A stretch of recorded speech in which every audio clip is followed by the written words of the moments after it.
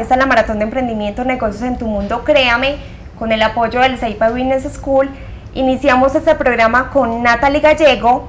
Ella es pediatra y directora del Centro de Estimulación Infantil Zurdos. Este es un centro de estimulación infantil temprano que opera desde enero del año 2015 y presta servicio ambulatorio en 15 guarderías de la ciudad con personal idóneo, con completo conocimiento del neurodesarrollo normal y las patologías neuromotoras prevalentes de la infancia y presta servicios de fisioterapia y fonobiología. Natalie, bienvenida a nuestro programa, ¿cómo estás? Muy bien, muchísimas gracias por la invitación. Bueno, Natalie, tú nos contabas previamente que siempre hay oportunidades para emprender, pero ¿cómo hay que innovar y ser diferentes? Tener una idea diferente que te diferencie de las demás de la competencia, una idea que sea innovadora, que tenga un impacto social y que a futuro realmente se vean los resultados sobre la población en la cual estás impactando, donde puedas aplicar los conocimientos y que dejes una huella en esa población. Natalie, también nos contabas que a veces cuando estamos empezando a emprender hacemos inversiones que no son tan necesarias. ¿Qué pasó al principio? Claro que sí, cuando uno empieza a emprender quiere abarcar todas las posibilidades, quiere tratar de suplir todas las necesidades de la comunidad y obviamente esto implica hacer muchas inversiones. Cada vez que haces más inversiones te descapitalizas y retornar nuevamente esa inversión puede ser un camino largo. Por eso la idea es tener una idea, capitalizar toda tu energía y dinero en esa idea y no estar innovando continuamente a partir de esa idea, a no ser de que esa ya esté muy consolidada, porque esas inversiones extras te pueden descapitalizar y obviamente llegar al cierre de tu emprendimiento. Bueno, Natalie, también nos compartías que hay algo fundamental y es que un emprendedor se debe saber rodear de socios, de amigos, de proveedores, ¿de quiénes? De pares, de personas que te puedan dar nuevas ideas con respecto a tu idea original, de personas con esa energía positiva que te den la energía para continuar el emprendimiento que no es fácil, el personal que tú contrates que sea un personal idóneo porque es la cara de tu empresa, tratar muy bien a tus empleados, unos buenos sueldos también es importante, eh, es recordar que la empresa pues, lo más importante de una empresa, no solamente la idea, sino la gente que hace parte de la empresa. Y si tú cuidas a tu gente, los clientes también se van a sentir queridos. Bueno, también nos compartías una frase que dice así, una idea ganadora, una idea no solo es ganadora por sí sola y no siempre te asegura el éxito. ¿A qué te refieres con eso? Uno puede tener una idea excelente, como en mi caso yo soy pediatra, yo sé de medicina, es lo que me apasiona a los niños, pero la parte administrativa para mí es absolutamente desconocida. Entonces mi idea puede ser innovadora, puede ser una idea ganadora, pero si yo no estoy rodeada de un administrador, de alguien que me guía desde la parte jurídica, administrativa, legal, mi idea no va a ser viable, a pesar de tener todo el conocimiento y muy probablemente la idea ganadora. Bueno, Natalia, ahora la dejo con la doctora Liliana para que nos cuente todas las inquietudes y preguntas que nos llegan a través del chat de negocios en tu mundo, por el canal de YouTube, Facebook y por Twitter también. Bueno, Natalie, bienvenida. Qué bueno que estás aquí compartiendo con nosotros. Y digo qué bueno porque definitivamente es muy escaso cuando uno encuentra médicos, amantes de la salud, creando sus propias empresas. Y diríamos que es muy difícil y más en esta época que todo el mundo dice, uy, no, sector de la salud, qué susto.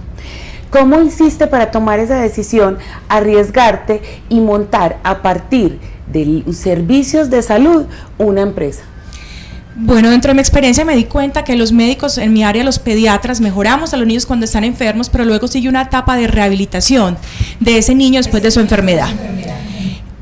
Eh, esa etapa puede ser lenta, puede ser larga, dolorosa, pero realmente es lo que saca adelante al niño. Y también me di cuenta que muchos centros de estimulación infantil son muy buenos, pero guiados por pedagogas. Mi idea era hacer un centro de estimulación infantil guiado por fisioterapeutas que conocen las etapas del neurodesarrollo de los niños, no solamente para los niños con necesidades especiales, sino también para los niños sanos, y enseñarle a un papá cómo hacer para que sostenga bien la cabeza, para que abra bien sus manitos, para que logre gatear, es decir, para que tenga un neurodesarrollo, completo, que a los padres dentro de su afán y dentro de ese amor no saben cómo seguir esas pautas y cómo estimularlo en casa.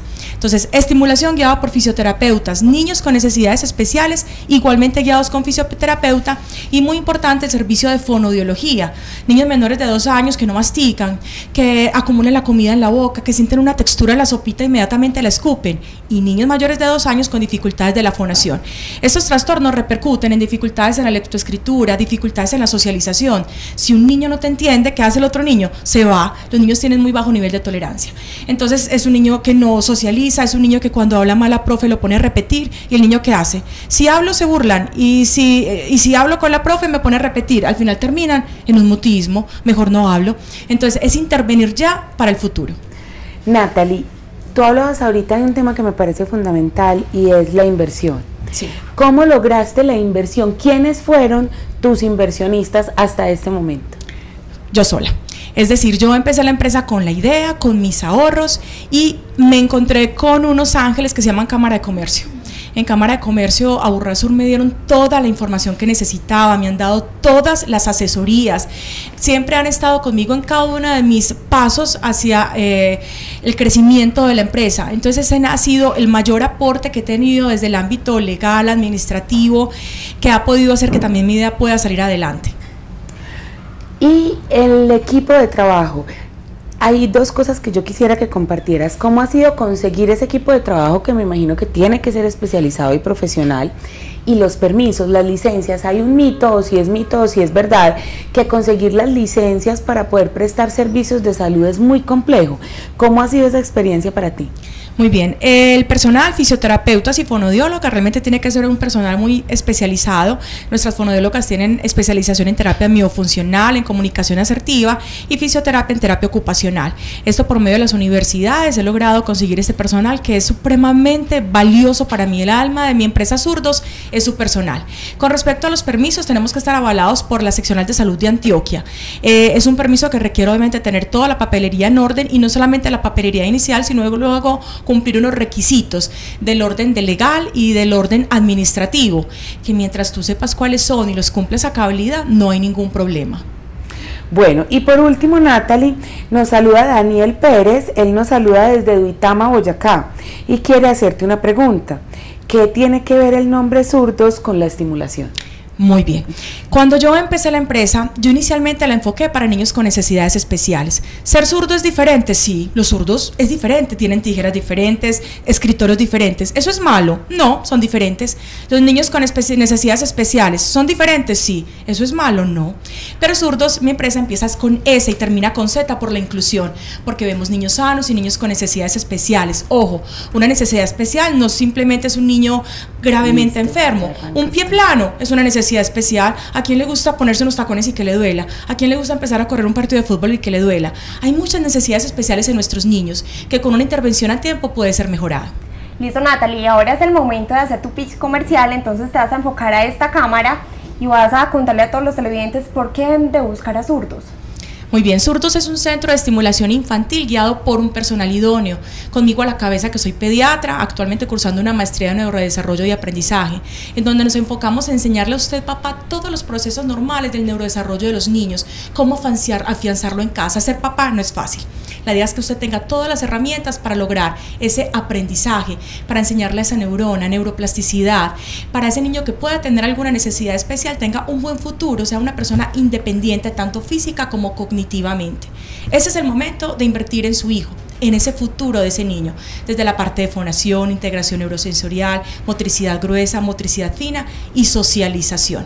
Los invito a que conozcan más de nosotros en nuestras redes sociales y bueno, siempre estamos para servirles. Muchas gracias Natalie. Bueno, ahora vamos con las conclusiones de la experta en emprendimiento Liliana. ¿Qué tal este emprendimiento de zurdos? Bueno, definitivamente, como les contaba, unas felicitaciones muy grandes para Natalie porque emprender en el área de la salud no es fácil y ella lo ha venido haciendo con mucho éxito desde el 2015. En el emprendimiento que ella eh, nos comunica y todo lo que ha tenido que pasar, yo quiero resaltar algo que me da pie para comentarles y es el tema de la financiación. Cómo la financiación para estos emprendimientos es clave para el éxito. Existen muchos modelos de financiación y debemos identificar cuál es nuestra ruta. Y nuestra ruta cambia a través del tiempo y de los pasos en los que va evolucionando nuestra empresa. El primer inversionista de nuestro emprendimiento debemos ser nosotros mismos, como nos lo explicaba Natalie. Pero luego viene un segundo paso que es denominado como las tres Fs, Food, Friend and Family. Pero en español, los bobos, la familia y los amigos. Esos son nuestros primeros inversionistas.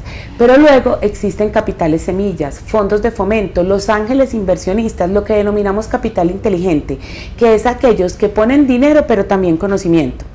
Luego viene la posibilidad de tener también fondos de inversión, fondos de capital de riesgo y luego fondos privados de inversión. Es toda una ruta de financiación donde en ella también encontramos desde el microcrédito, crédito emprendedor, créditos de consumo, créditos apalancados por garantías. Entonces tenemos todo un abanico hoy el cual debemos saber aprovechar en el momento específico.